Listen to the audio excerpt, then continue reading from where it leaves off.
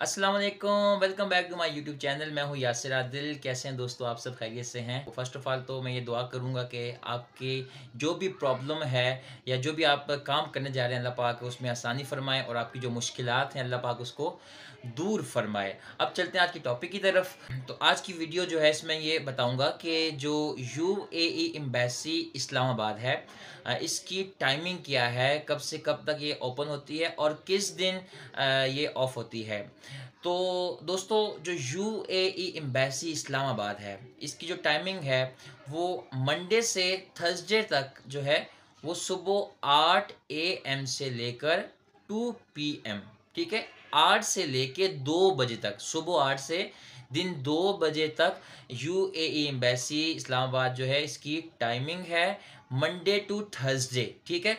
अब जुम्मे को इसकी टाइमिंग जो है वो थोड़ी चेंज है। वो क्या है? जुम्मे को जो यू एम्बेसी इस्लामाबाद है, ये सुबह आठ से बारह बजे तक ओपन होती है, ठीक है? सुबह आठ से बारह बजे तक ये खुली रहती है और फिर ये ऑफ़ हो जाती है। और सैटरडे, संडे को यू ए एम्बेसी इस्लामाबाद जो है ये ऑफ़ होती है। दोस्तों, आपको एक मैं बरदराना मशवरा दूँगा कि अगर आप अटेस्टेशन के लिए आ रहे हैं, अगर आपने खाली यू एम्बेसी इस्लामाबाद से ही अटेस्टेशन करवानी है, फिर तो आप भले जुमे को भी आ जाएँ, अर्ली इन द मॉर्निंग आइएगा, ठीक है?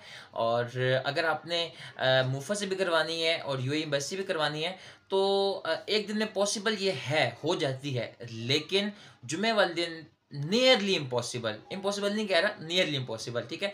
और इसलिए फिर अगर आप आ जाते हैं वहाँ से मुफा से आपकी डिसीज़न हो जाती है और यू बस नहीं होगी, फिर आपको दो तीन दिन यहाँ पे स्टे करना पड़ेगा, हफ़्ता तो यहाँ पे स्टे करना पड़ेगा।